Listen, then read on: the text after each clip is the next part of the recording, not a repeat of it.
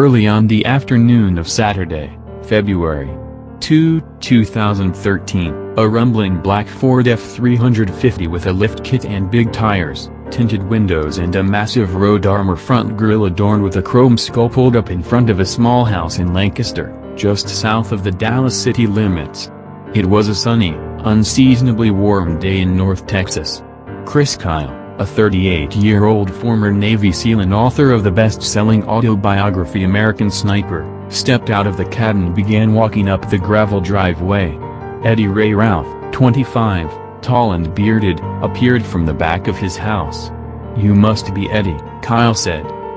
The men had never met, but Routh's life was like a distorted mirror of Kyle's. Thirteen years younger, he graduated from the same high school in nearby suburban Midlothian that Kyle had attended. Unlike Kyle, who joined the Navy at 24 after attending college and working as a rodeo rider and cowboy, Routh enlisted in the U.S. Marines at the age of 18 in 2006. He became an armorer, repairing and maintaining small arms, and shipped out to Iraq in 2007. There is no record that Routh went outside the wire scene combat, in military vernacular. After Iraq, he was stationed aboard the USS Bataan, an amphibious assault ship, on a seven-month Middle East deployment. Finally, he served for four months in the humanitarian relief effort in Haiti following the horrifically deadly earthquake of January 2010 and came back with harrowing stories, his father later said, of fishing hundreds of bodies men, women, children out of the ocean, piling them up and throwing them into mass graves. By all accounts, Routh returned to civilian life a profoundly changed man. Within a year, his life was falling apart. He had trouble keeping a job and began behaving erratically, having panic attacks and saying crazy, delusional things. At one point he was convinced that an imaginary tapeworm was devouring everything he ate. He talked about killing himself, alarmed, his family members took away his guns. He was admitted to the Veterans Administration Hospital in Dallas for the first time in July 2011 and diagnosed with PTSD. Doctors prescribed a raft of antipsychotic and anti-anxiety drugs, including risperidone, a powerful antipsychotic medication used to treat schizophrenia. Meanwhile, he steadily self-medicated with alcohol and marijuana. In September 2012, Police picked him up walking down the road, incoherent, and he was brought to the VA hospital, suffering from what psychiatrists there called a major depressive illness and psychotic delusions. He was again given medication and discharged. He would seem better for a time, and he even found a girlfriend, Jennifer Weed, whom he had met online. They briefly lived together. She later recalled that he sometimes talked as though he had, in fact, seen action in Iraq saying, I've killed before, and I'll do it again. On January 19, 2013, he had another psychotic episode, holding Weed and her roommate prisoner in their apartment while brandishing a knife until police arrived, and he landed at the VA hospital once more. But after a five-day stay, he was released again. Routh's mother, Jody, had pleaded with the VA doctors not to release her son. Exhausted and running out of options, she turned to Chris Kyle. His two kids attended the elementary school where she worked, so when he came to pick up his children, she approached him as a last resort. She said that she had heard he was spending a lot of time helping other veterans with disabilities and PTSD and told him about Eddie's deepening crisis. He promised to reach out to her son, Jody Routh would later say that Kyle never mentioned that he might bring Eddie to a remote shooting range with an arsenal of pistols, rifles and ammunition. What happened next, the shocking, senseless fusillade of 13 bullets that left Kyle and his close friend Chad Littlefield dead and triggered a frantic manhunt for Routh, is the missing reel, the unseen ending to American Sniper. The filmmakers had considered but ultimately omitted a final scene portraying the killings, partly in deference to Kyle's widow, Taya, and her children. New details that emerged at the capital murder trial of Routh at the Erath County District Court in the small ranching town of Stephenville, Texas, offer a riveting and disturbing account of the tragedy that befell the man they called the legend. On Tuesday, after less than two and a half hours of deliberation, The jury found Routh guilty of murder and minutes after that verdict was announced, the judge issued a sentence of life in prison without the possibility of parole.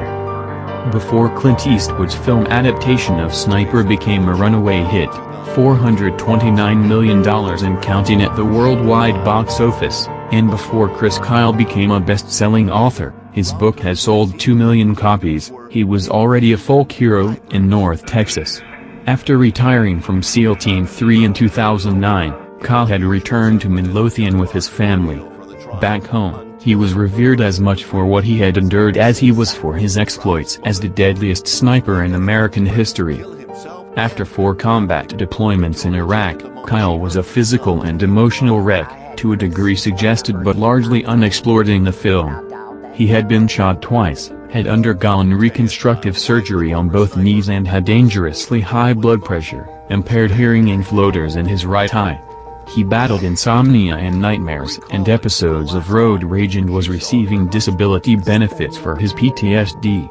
For a time, he drank heavily.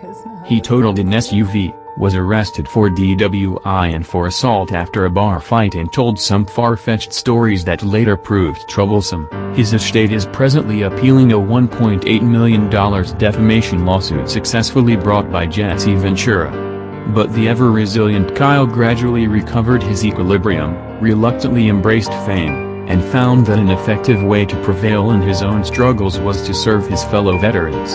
The need was dire in Texas, and across the country, the Veterans Administration was overwhelmed. By 2012, the chronically understaffed VA hospital in Dallas had an annual caseload of more than 13,000 veterans with PTSD. In the time he could spare from building his security firm, Craft International, Kyle began sponsoring retreats and outings where men with shattered bodies and minds could hang out and do a little hunting or target shooting, tapping their warrior spirit, as Kyle put it. During the trial, a battalion of TV remote trucks decamped to Stephenville, 100 miles southwest of Dallas, for Routh's murder trial. Flanked by his three defense attorneys, who entered a plea of not guilty by reason of insanity, Routh sat calmly listening, dressed in a dark gray suit and tie, observing or taking notes, hunched over a yellow legal pad. At the time of his arrest, he was shaggy-haired, bearded and thin. Two years later, the beard is gone, his head shaved, his body much heavier. On the trial's opening day, February 11, the prosecution's lead witness was Taya Kyle, now 45, wearing a silver cross and her husband's dog tags around her neck. As several jurors wiped away tears, she narrated a slideshow of her husband's career and his life as a husband and father with shots of Easter egg hunts and vacations together, offering her account of their last hours together. Spared the prospect of condemning a likely mentally ill veteran to death, the ten women and two men of the jury were faced with deciding if the defendant and self-confessed killer was guilty of intentionally and knowingly, the legal standard in Texas, murdering Kyle and Littlefield and was aware that it was wrong to do so. The alternative was an acquittal on the grounds that Routh was insane in the grip of a psychosis so severe, as defense attorney Tim Moore argued, that he would not know what he was doing was wrong. Even if he had been acquitted, Routh would almost certainly have spent the rest of his life in a maximum security mental hospital. But with a guilty verdict, it's life in a penitentiary with no chance of parole. The keys to the verdict, and to the puzzle of how and why this tragedy happened, are hidden in the trial's details, exhibits and testimony and in crucial new information about the fateful events of February 2, 2013, that only now have come to light. Routh spent the night before he met Chris Kyle drinking Texas Crown whiskey and seesawing between anxiety and wild optimism. Weed, his girlfriend, was visiting, and at one point he surprised her by suddenly proposing marriage. She accepted, he apparently got little or no sleep. In the morning, his mood had soured and he quarreled with Weed, ordering her to leave. Weed called Routh's 43-year-old uncle, James Watson, and asked him to drive over and try to calm Routh down. Watson testified that when he arrived, Weed was gone and Routh was alone with his black Labrador retriever, Gurley. Watson and Routh talked about the Bible, and the uncle played a hymn for Routh on his phone. Then Routh got his bong and the men smoked a bowl or two of pot. They were hanging out on the back porch when Watson heard a loud diesel engine in front of the house and the crunch of a man walking down the gravel driveway. Not long afterward, he heard the truck driving away and was surprised to discover that Routh had left without saying goodbye or making sure Gurley was secured and his house locked. Out on the street, Kyle introduced the scruffy ex-marine to Chad Littlefield, who was riding shotgun in the truck. Kyle's friendship with Littlefield, 35, who worked for a private water treatment company, seemed to mark a new turning point in his life as a civilian and suburban Thad. Littlefield, significantly, had never served in the military, they had met on the sidelines at their daughter's soccer games, but they shared an enthusiasm for working out and guns. After he climbed into the F-350, Routh spoke briefly on the phone with his mother, who was out of town visiting his father in Abilene, Texas where he had found a job in the nearby oil and gas fields. Leaving Lancaster, they took Highway 67 heading west, crossing the Brazos River and rising into the wooded uplands of rural Erath County. The route takes about an hour and 45 minutes, passing through classic Texas ranch country, wide open space, wooded hills, endless sky, their destination was a shooting range at Rough Creek Lodge, an 11,000-acre upscale resort 26 miles outside Stephenville, the town where Kyle had attended Tarleton State University and competed in rodeo in the early 1990s before becoming a SEAL. Kyle had helped design a 1,000-yard shooting range in an isolated corner of Rough Creek and was welcome to visit or stay at the lodge with his family, free of charge. Rough Creek, with its spectacular cowboy movie vistas, offers a peculiarly Texan cornucopia of activities and amenities, horseback riding, hot stone massage, clay shooting, a pistol range, bird and pig hunting, archery, tomahawk throwing, paintball and kennels stocked with 60 hunting dogs. In his memoir, Kyle wrote that taking veterans out to hunt or shoot in bucolic settings was relaxing and therapeutic, adding, as you'd expect when I'm involved. There's a lot of busting going on back and forth and giving each other hell. Whatever transpired on the trip to Rough Creek, such camaraderie didn't seem to materialize. At the trial, a police officer said that after Routh's arrest, he had overheard Routh complaining that Kyle and Littlefield wouldn't talk to me. A forensic psychologist who interviewed the defendant in jail reported that Routh said the number of guns in the truck had made him feel anxious and that he'd become convinced that Kyle and Littlefield were planning to kill him. And something about Routh's behavior had spooked Kyle and Littlefield, too. At the trial, it was revealed that Kyle, behind the wheel, had texted Littlefield, who was sitting right beside him, this dude is straight up nuts. Littlefield texted back, He's right behind me, watch my six, telling Kyle in military slang to watch his back. The last time Taya Kyle spoke with her husband, she testified at the trial, was around 3 p.m. she reached him on his cell phone, and he told her they had just arrived at the lodge. But their short conversation left her fretful. Usually, he's making their day, she said, referring to veterans he had taken on previous excursions. I thought he was irritated. Rough Creek Lodge's general manager testified that Kyle checked in at their resort headquarters and said they'd only be shooting for about 45 minutes. Heading out, Kyle or Littlefield raised a red Bravo flag, warning that the range was in use. A couple of hours after their mid-afternoon phone conversation, Taya tried to reach Chris again. He didn't pick up. Are you okay? She texted. I'm getting worried. Arriving at the range, the party carried several rifles, five handguns and boxes of ammunition and protective earplugs to an open platform, 12 feet wide and sheltered under a corrugated metal roof. Kyle and Littlefield were carrying loaded .45 caliber 1911 style pistols on web holster belts. They began using the range, and investigators determined that a .38 single-action handgun was fired downrange, as was a Colt .45 cowboy-style revolver. Routh later said that it bothered him that Chad Littlefield was not shooting, it somehow made him a threat. At some point Routh armed himself with a 9mm Sig Sauer P226 Mk25 pistol, the model used by Navy SEALs, and a Springfield .45 pistol. Kyle and Littlefield never had a chance to defend themselves. Routh told one of the psychologists who testified that he shot Littlefield first, then Kyle. Littlefield was struck seven times in the back, shoulder, head and hand, with slugs from the 9mm handgun. Kyle was hit six times in the head, shoulder, chest and right arm. By bullets from the Springfield .45. They apparently fell with their sidearms still holstered and with the safeties on. Littlefield was lying on his back on the shooting platform and Kyle was face down in the grass nearby. Routh reloaded the Sig Sauer to its full 15-round capacity and took this weapon, along with one of the rifles and Littlefield's cell phone, when he left in Kyle's truck. No one saw him drive away. Around 5 p.m., a Rough Creek employee noticed the warning flag was still up. A lodge guide was dispatched to the range, and he discovered the two men. Lodge staff and EMS first responders attempted to revive the victims, but there was no sign of life. As darkness fell, police, sheriff's deputies and Texas Rangers descended on the scene. One of the Rangers arrived towing a horse trailer that had been seized after being used to manufacture meth. It was now a mobile CSI lab.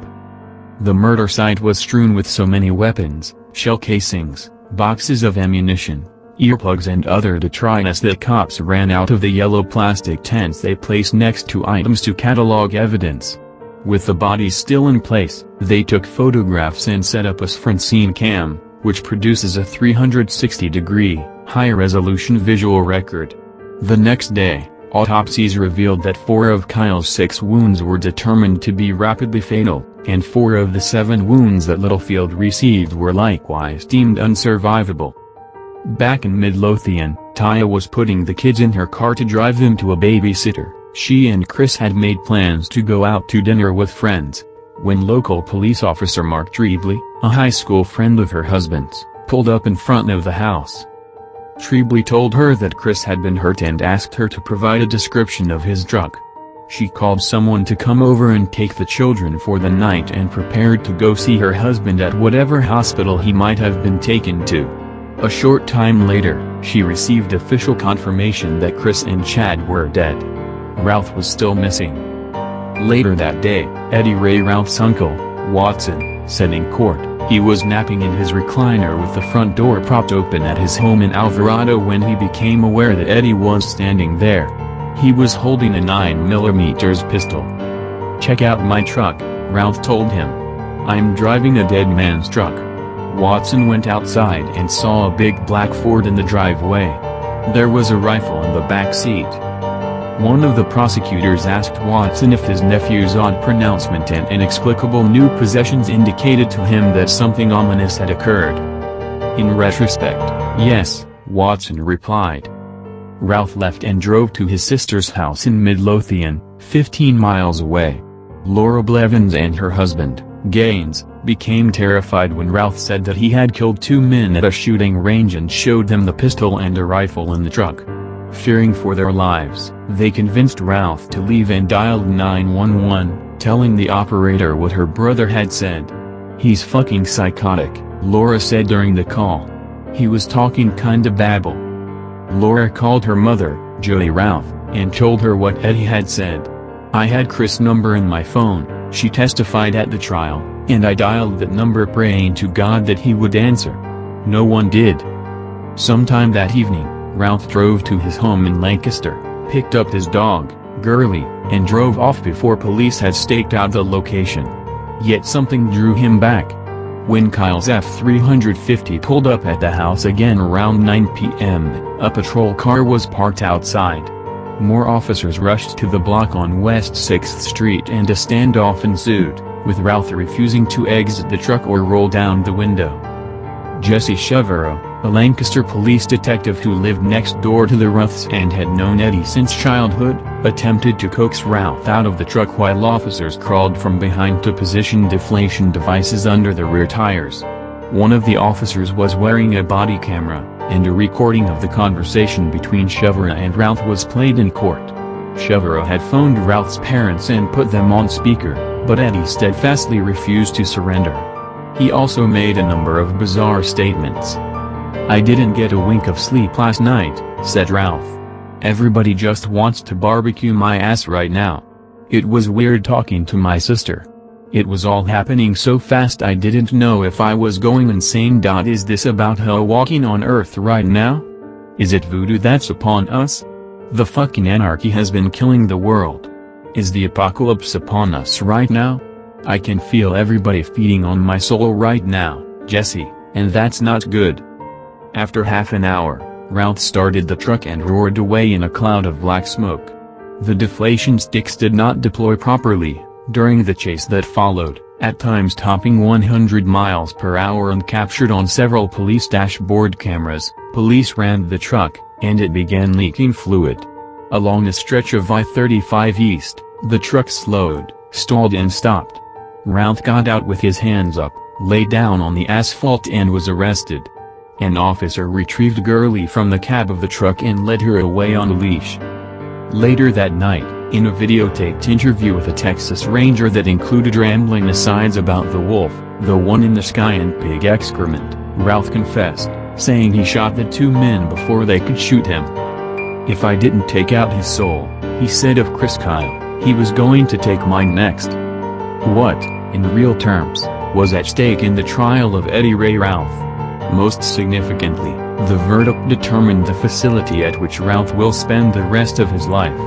In Texas, if an individual is convicted of capital murder, life without parole, he will spend the rest of his life in a penitentiary with little or no mental health assistance, says George Parnham, a Houston-based criminal defense attorney who represented Andrea Yates, a mother who drowned her five children in 2001, in two consecutive trials. By contrast, a successful insanity defense, Parnham says, means that the individual is sent to a maximum security mental health hospital where he is then treated by psychologists, psychiatrists and therapists and given proper doses of medication. The evidence that Routh has a grave mental illness, perhaps adult-onset schizophrenia, exacerbated by PTSD, and was likely experiencing a profound psychotic break when he killed Kyle and Littlefield might seem abundant and compelling, but the Texas Penal Code, which Parnham describes as archaic, gives juries great leeway in concluding that a mentally ill person still knew what he was doing and that his actions were wrong, and this describes Routh, prosecutors said, whose flight after the killings betrayed an awareness of guilt. Furthermore, the prosecution presented two expert witnesses who had interviewed Routh in jail and flatly declared that he is not schizophrenic, psychotic or afflicted by PTSD, instead portraying him as a manipulative, dishonest, substance-abusing miscreant with a personality disorder who is skilled at citing past trauma and feigning insanity. As this moral and legal drama played out in Stephenville, it was impossible to separate the trial from the American Sniper juggernaut. District Court Judge Jason Cashon had ruled before the trial that potential jurors would not be disqualified if they had seen the film or read the book and directed the jury that its obligation was to be the voice and conscience of the community. At the Cinemark Cinema 6, a few miles from the courthouse, Sniper was playing to capacity weekend audiences throughout the trial. On a recent Saturday night at 7.30 p.m., after the first week of testimony, there wasn't an empty seat in the house.